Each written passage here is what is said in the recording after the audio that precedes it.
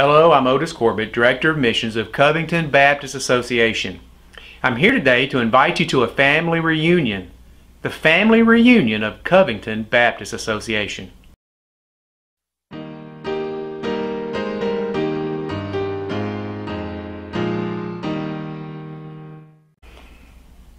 Covington Baptist Association is a family of 52 Southern Baptist churches in Covington County who have agreed to associate with one another for fellowship, mutual support, and cooperative ministry.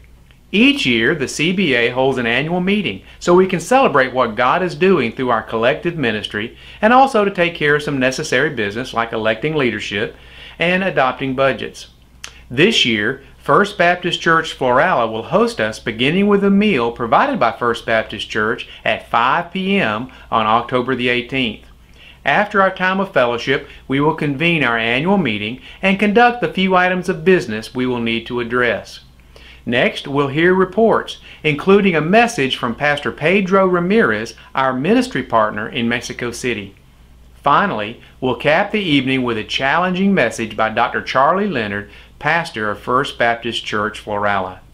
Don't miss our 162nd annual meeting beginning at 5 p.m. on October 18th at First Baptist Church, Florala. I hope to see you there.